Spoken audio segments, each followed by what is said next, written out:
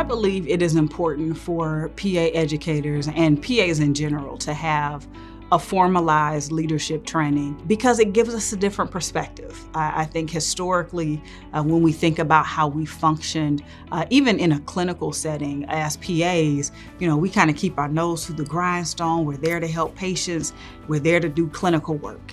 But leadership is more than just leading in an organization, right? Because all of us ha- have had experiences where the folks that really were the leaders of a group, an organization, a floor, a team, weren't necessarily the ones that were named or dubbed the leader. And so I think identifying some of our personality traits, uh, things that make us tick, our working style, our learning style, having some training around that really allows us to expand our vision of ourselves, of ourselves as PAs, of PA educators, because we are medical education influencers. And again, to have that perspective, there is some uh, very directed and concerted thought processing uh, that, that has to go with that. I think it, it is crucial to kind of have that understanding, have some of that training to help us think and, and, and be more expansive in how we think about our work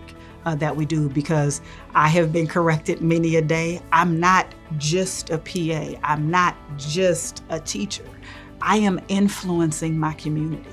I am influencing healthcare in this country uh, at this time that is going to have a ripple effect uh, in the next 50 years. And, so I, I definitely um, have said before that being part um, of the volunteer structure at PAEA has been the absolute best leadership training that I've had because I've been able to think of myself in a different way. The training that we've had uh, when I first got on the board, we had this saying talking about zooming in, zooming out, not being in the weeds. But literally, I had never thought of it that way because sometimes we're we spend so much time in the immediate that we can't project, we can't think far out. Um, and that has even helped me in my teaching um, help me how I identify uh, with students.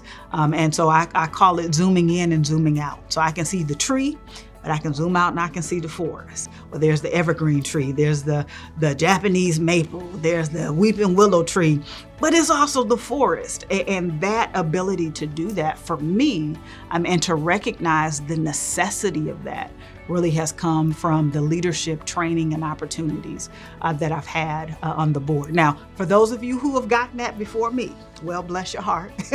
I did not. Um, but it really has changed how I navigate and to recognize you are a leader, even if you're not formally dubbed it. But we impart that uh, again to our students every day.